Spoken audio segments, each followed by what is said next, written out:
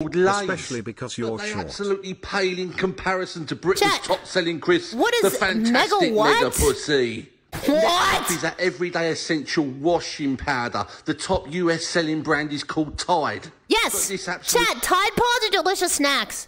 trash should go and hide when it comes up against Britain's top What is selling this? powder, the impeccable ultra slut. Wow, I didn't know they served your mom as an effing detergent brand.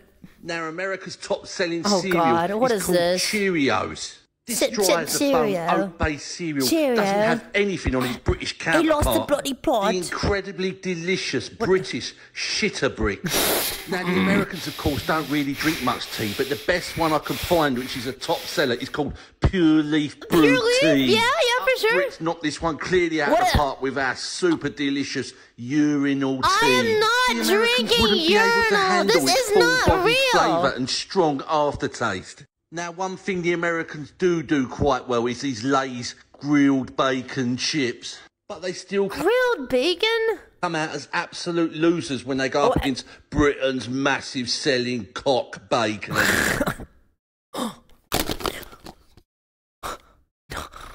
No, no, no, no, no, no, no, no, no, no, no, no, no, no. Wait, wait, wait, wait.